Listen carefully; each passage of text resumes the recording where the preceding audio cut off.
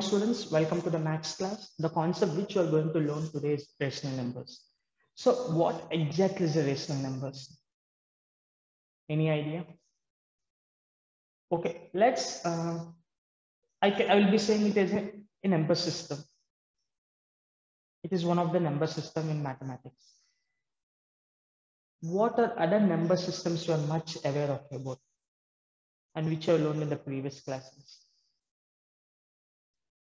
Yes, you have learned about the the basic number system is natural number system and then you came across the whole numbers and then integers and then you have learned fractions. Now we are going to know about the rational numbers. So I will be asking few questions in the next slide. Just look into that.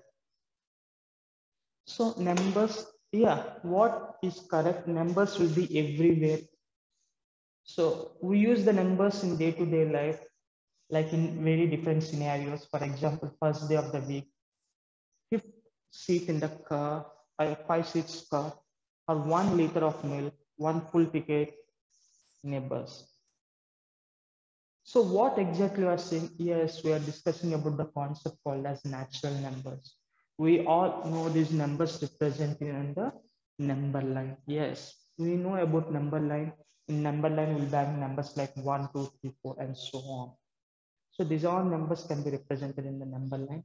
And we are dealing with the natural numbers over here so let us see some more examples.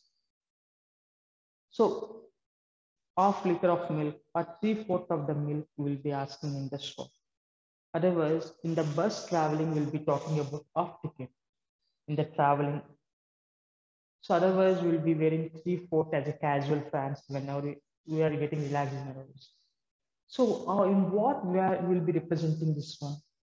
Yes, these all are the representation of a rational numbers. So what exactly is the definition of a rational number, student? So a number which can be written in the form of P by Q, where P and Q are integers and Q not equal to 0 is called as a rational number. Sir, you may have some doubts in your mind. Sir, the same type of formula I used to learn before and you said it as a fractions. Now we are saying it as a rational number. You said that the definition of a fraction is nothing but it is a part of a whole and it is represented in the form of A by B. Now the same thing you are saying that it is in the form of P by Q and you are saying it as a rational number.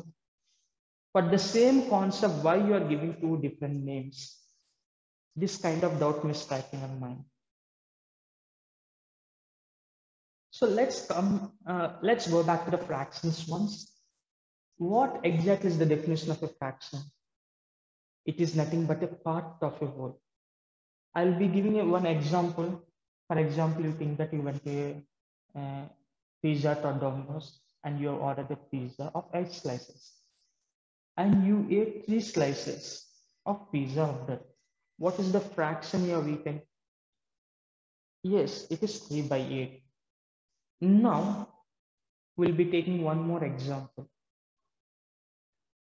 You, one more friend will be saying, your friend will be saying that I also thought of going to Pizza and I thought of eating a large pizza of five slices from that but unfortunately I didn't have it because of works, uh, some other work.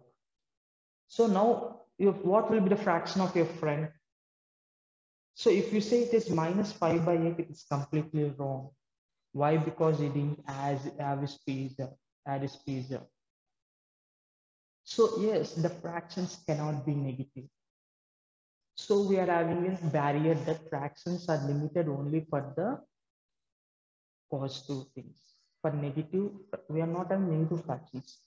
To overcome this, we have introduced new number system called as rational number system. We have introduced a new number system called as rational number system. So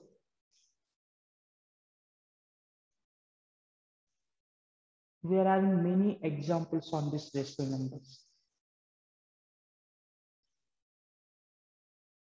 It's very quite obvious. if I ask what is the status of your assignment, what you'll be saying? Yes, sir, sir I have completed only 50%, or I have completed 30%. Sir, last two problems for completing it. So 50% I will be converting over here, will be converting it as 1 by 2. So if I conduct an examination for you out of 30 in the chapter based test, how many marks you'll be getting? That one also will be represented in the form of a rational number. If you get 30 out of 30, so we'll be writing 30 in the numerator and 30 in the denominator. If you get 25 marks, we'll be representing it as 25 by 30. That is also a uh, representation of a rational number. I hope students you understood the concept of rational numbers. We'll meet in the next video.